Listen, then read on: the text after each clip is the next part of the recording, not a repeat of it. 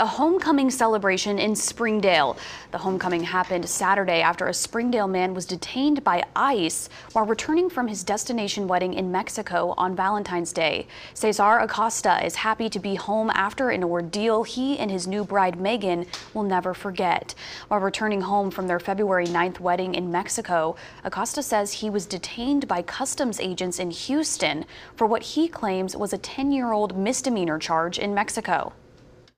Makes my case a little bit different is that I was a lawful permanent resident. Most of the people that are detained um, aren't in similar situations, but they still don't have any criminal records. So it actually happens every day.